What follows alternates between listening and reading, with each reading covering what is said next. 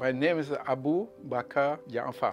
I'm now a full-time professor at the University of Technology Malaysia and I'm very proud alumni of the University of Newcastle.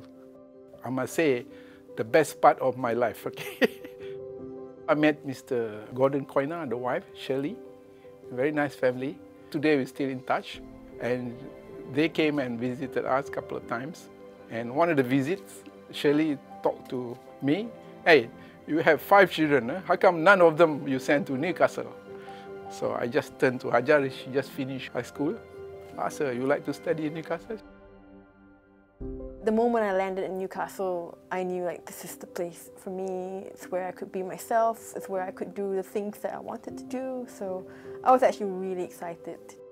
Australia is a perfect place for her because she is a very outdoor girl.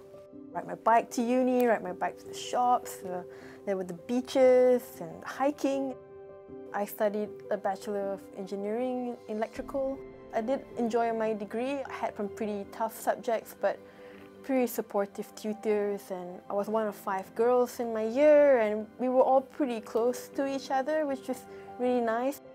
The thing that impressed me the most, the university has really grown in its reputation.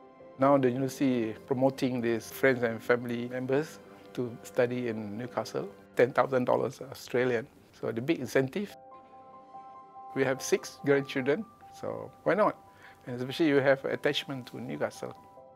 It's quite a nice, it's a bond that the both of us have that he doesn't have with the rest of my siblings. I love the University of Newcastle. You know, that really shapes my character. I'm proud to be a Global Alumni Ambassador of the University of Newcastle.